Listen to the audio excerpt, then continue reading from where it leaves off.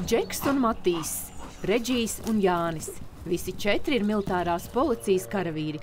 Ikdienā viņu darbs ir meklēt un atrast sprākstvielas un ieročus. Uzaicinājumu braukt uz Parīzi, lai gādātu par Olimpisko spēļu drošu norisi, Latvijas kinologi saņēma no sabiedrotajiem Francijā.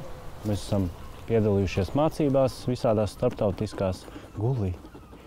Starptautiskajās un NATO acīs esam sevi diezgan labi parādījuši. Tāpēc arī mums deva iespēju. Mēs, kad tur aizbrauksim, jā, tas sunim jau tas vairāk būs kā, kā treniņš. Atkal. Man atkal vairāk kā pieredze, jā, zināšanas, izaugsmē kaut kādai. Un, ja ne? Šīs balvas ir nopelnījis Reģijs ar Jāni starptautiskās sacensībās. Savukārt Džekam un Matīsam diplomu vēl priekšā. Dienestā viņi ir jaunienācēji, taču zināšanu ir uzkrāts gana daudz. Gad, griezties! Riņķī, blakus. Kopumā Parīzē strādās ap 400 dienesta suņi no daudzām valstīm - gan armijas, gan policijas, gan robežsargu četrkājainie pārinieki. Un katrs darīs to, ko prot vislabāk - pārmeklēs telpas, sargās un aizturēs personas. Suns jau ne, nezina valodas, ja? viņš nezina latviešu, viņš nezina, nezina franču vai angļu. Viņš pazīst savu kinologu, savu saimnieku, un pēc tā arī viņš vadās.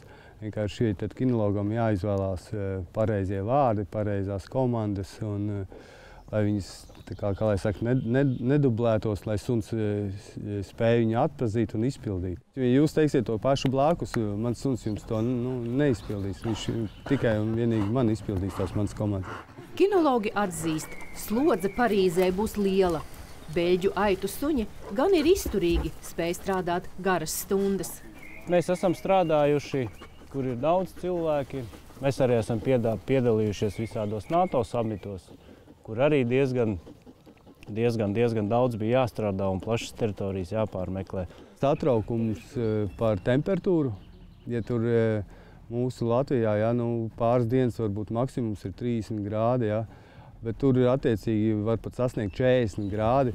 Jādomā, cik tas suns ilgi strādās, kā viņu atpūtināt, jādomā par svaigu ūdeni pieejam visu laiku.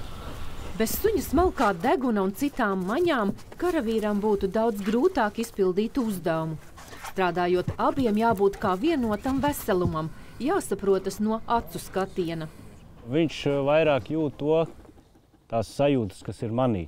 Jā, jo suns ļoti labi pārvalda kinologa, kad kinologs ir nobijies, uztraucies, priecīgs, dusmīgs. Jā, to suns visu ļoti labi jūt.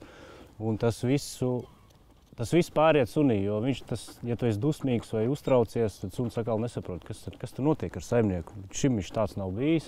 Līdz ar to sunim arī ceļās stress. Guli. Un vairs nav tā, tā teikt, tā sadarbība, tā saikne vairs. Čuska.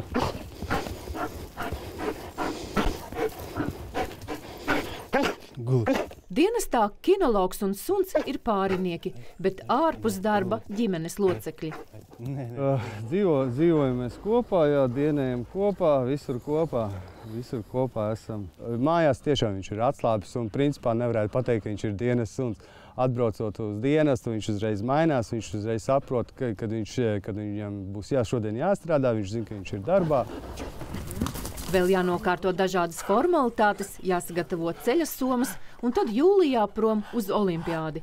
Uz Parīzi brauks strādāt arī trīs valsts robežsardzes kinologi ar saviem suņiem.